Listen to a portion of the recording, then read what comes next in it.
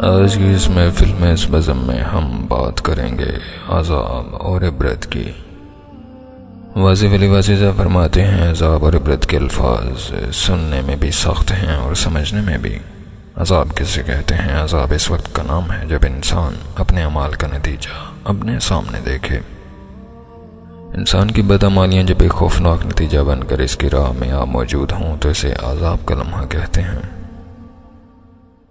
फितरत इंसान की लफ्जिशों और बदामालियों को अक्सर माफ़ करती रहती है। इंसान अपने एतक़ाद का मज़ाक उड़ाता है, वो सरकशी करता है। वो खुद को खुद साख्ता मालिक और ख़ुद मुख्तार समझता है, वो अतात से रुकरदानी करता है और अगर अतात करे भी तो इसका मुआवजा इस शक्ल में वसूल करता है कि लोग इसकी अतात करें।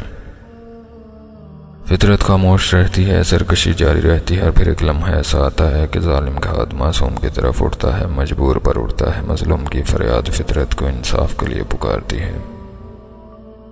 बस फितरत जब इंसाफ करने पर आ जाए तो समझ लीजिए कि अजाब का वक्त आ गया, किसी इंसान के कौन से अमाल किसी इंसाफ के लिए मुंतजर हो सकते हैं।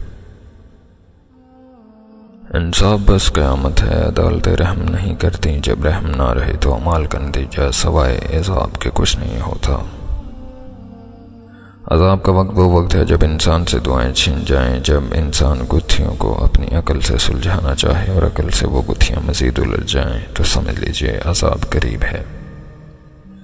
अकल और सिर्फ़ अकल, ताकत और सिर्फ़ ताकत मसाइल का हल नहीं दे सकते जब तक उसका फजल हासिल ना हो। हमारे तमाम काम और हमारा तमाम हासिल हमारे लिए असाब लिख रहे हैं। क्या हम एक जालिम कौम हैं? क्या हम बेहस हैं? क्या हम बेबस हैं? क्या हमारी आँखों पर पट्टी बंदी है? क्या हमने आने वाली नस्लों को जवाब नहीं देना? क्या हमारा कोई युम हिसाब नहीं? क्या हम पर कोई हिसाब नहीं? गफलत का नशा, बेहसी का नशा, अपनी खुदी का नशा। क्या हम अपने मुस्तबिल से नाराज़ हैं क्या हम अपने माजी से कट चुके हैं, ताबनाक माजी से हम क्यों आज़ाब में हैं? है मालिक, हमें हमारे अमाल को रद्द होने से बचा। हमें एक दूसरे के हवाले ना कर हमें अपनी रहमत के साय और फजल अता फरमा। तो अगर चाहे तो रात से दिन पैदा हो, मुर्दा से ज़िंदा पैदा हो, ख़ज़ाओं से बाहर पैदा हो, नफ़रत से मोहब्बत पैदा हो। तो चाहे तो मदम रोशन हो जाए। हमारे मालिक हम पर अपनी रहमत के दरवाजे खोल दे। हमेशा हमेशा के लिए और हमें हर किस्म के अजाब से बचा। आमीन। सुम आमीन। उम्मीद करता हूँ आज इस महफिल से आपको बहुत कुछ सीखने को मिला होगा। मज़ीद अच्छी वीडियोज़ के लिए हमारे इस चैनल को लाइक कीजिए, सब्सक्राइब कीजिए और शेयर कीजिए।